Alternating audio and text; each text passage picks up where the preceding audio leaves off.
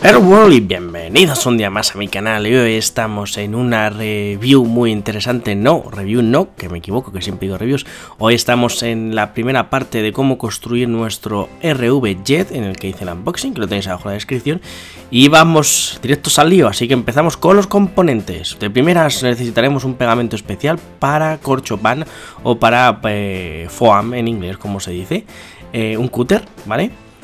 Y también pues, necesitaremos un par de servos que no vienen en el set. En este caso era el set básico y no me venían los servos. Entonces, bueno, pues yo elegí estos servos que vosotros podéis comprar otros. Pero bueno, os recomiendo estos Spectrum que van muy bien.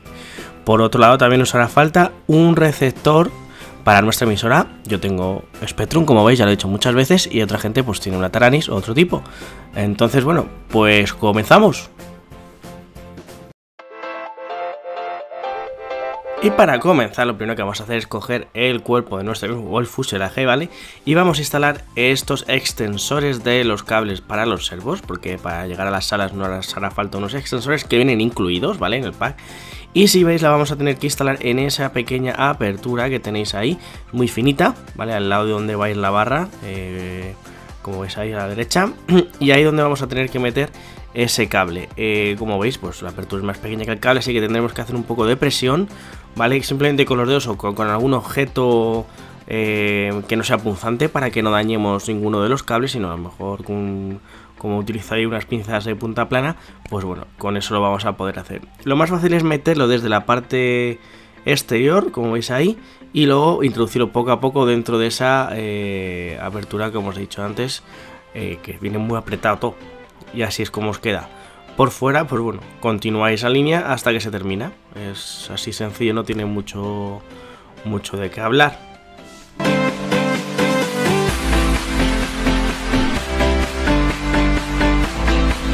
A continuación deberemos dar la vuelta al fuselaje y empezar a montar esas dos eh, piezas eh, que tenemos que pegar eh, para reforzar la estructura.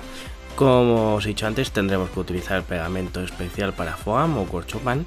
Y bueno, no os olvidéis de rellenar todos los huecos porque es importante que queden bien sujetas.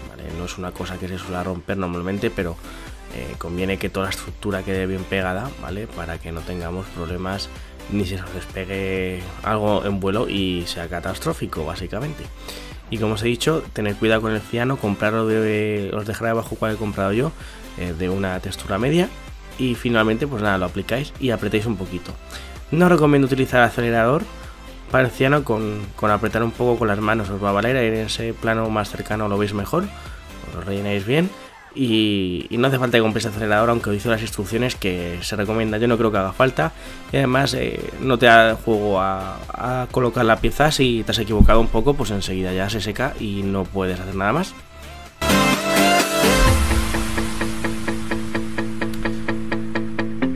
Ahora nos toca eh, poner el patín de aterrizaje o bueno o el deslizador. Es una parte la cual bueno pues sí un poco para identificar el avión desde, desde el aire y también pues para eh, digamos proteger la panza del avión cuando aterricemos ya que este, eh, esta ala o, o fixed wing como dice en inglés no lleva aterrizaje sino que aterriza sobre ese plástico que veis ahí. Las aperturas también son para si queréis lanzarlo con una goma es otra opción en vez de despegarlo desde la mano pues tenéis hay una especie de tirachinas donde engancháis ahí eh, esos huecos el, el, avión y bueno pues lo despegáis en el aire sin tener que acelerar prácticamente nada a continuación, ¿qué nos falta? Pues en la parte trasera habrá que instalar la bancada. La bancada, para aquellos que no lo sepáis, es donde va a atornillarse el motor y por lo tanto debe de quedar bien sujeta y no debemos escatimar en pegamento. Os recomiendo que os compréis dos botes, básicamente porque yo me quedé sin, sin, el, sin el bote a la mitad y tuve que ir a la tienda a comprar más porque bueno, eh, requiere mucho pegar. Eh, aseguraos bien de que queda bien pegada porque es una de las partes más importantes de todo el fuselaje, ya que el motor pues, es donde se ejerce más fuerza y donde mejor debe estar sujetada.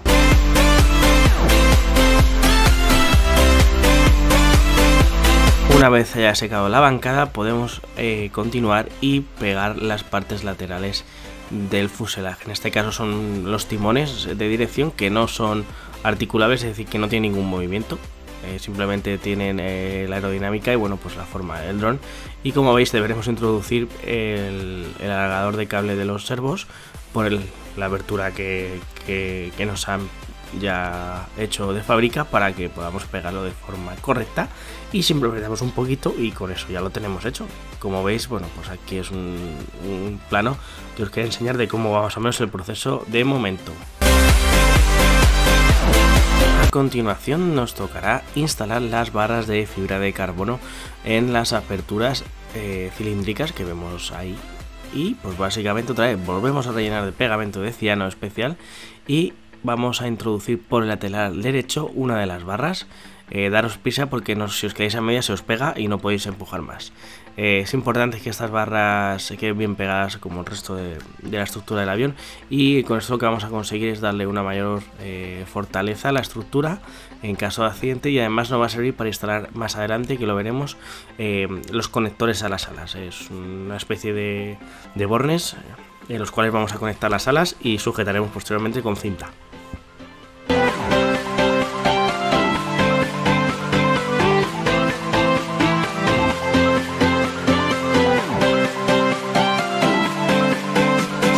Una cosa importante, eh, eh, dejar el tubo de, fibra a ras de la parte lateral del avión porque eh, si no va a chocar con las alas y no se va a encajar bien, ¿vale? Eso lo ponen las instrucciones, pero ya los adelanto. Y a continuación estos bornes, estos tubos donde vamos a encajar los los, las diferentes partes de las alas, eh, bueno, pues tienen que estar a una distancia de 3,5 centímetros o 35 milímetros del borde del ala, como veis. Pues simplemente echamos pegamento y los, los introducimos hasta que, como veis ahí en la, la toma, bueno, pues que lleguen a los 3 centímetros y medio o 35 milímetros, porque si lo ponéis más largo o más corto, no os van a encajar bien las alas. Y repetimos el proceso en las cuatro partes, ya lo tenemos hecho. Por último deberemos instalar estas dos mm, barritas, bueno, porque son rectangulares, no llamadas barritas.